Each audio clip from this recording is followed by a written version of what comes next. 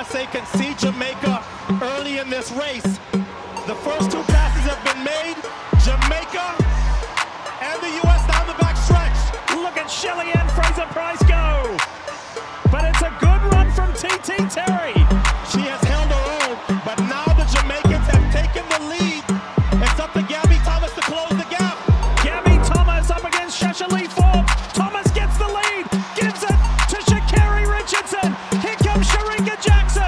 It's and Shericka. The USA in front. Nobody's catching Sha'Carri.